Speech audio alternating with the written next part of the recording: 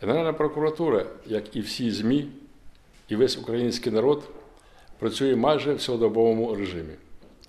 При цьому Генеральна прокуратура нарощує ефективність своєї роботи.